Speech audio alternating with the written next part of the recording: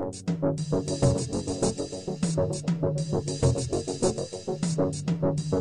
you.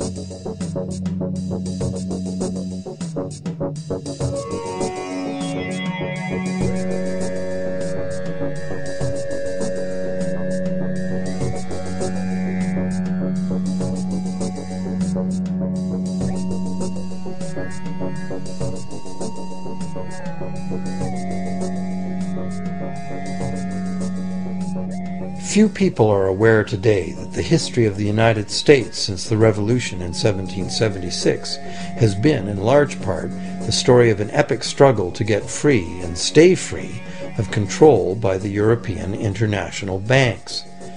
This struggle was finally lost in 1913 when President Woodrow Wilson signed into effect the Federal Reserve Act, putting the international banking cartel in charge of creating America's money.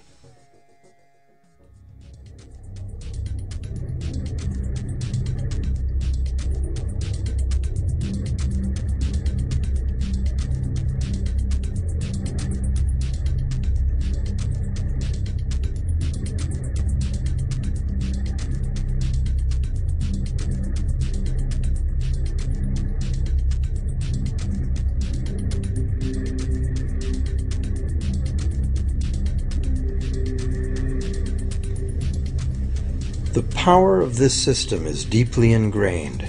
So is the educational and media silence on the subject.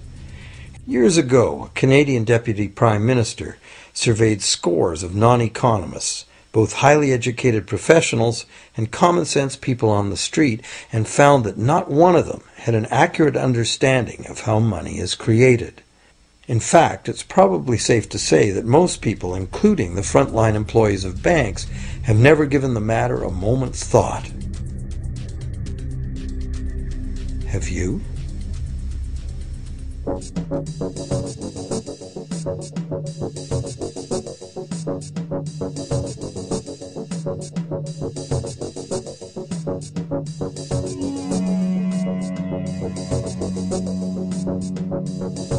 The modern money as debt system was born a little over 300 years ago, when the first Bank of England was set up with a royal charter for fractional lending of gold receipts at a modest ratio of 2 to 1.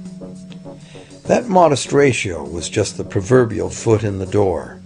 The system is now worldwide, creates virtually unlimited amounts of money out of thin air, and has almost everyone on the planet chained to a perpetually growing debt that can never be paid off.